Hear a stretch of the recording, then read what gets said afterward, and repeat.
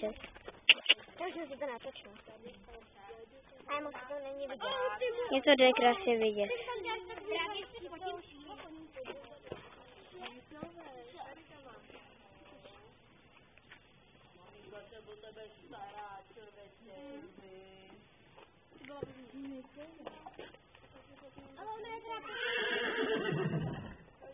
Dobrá terka.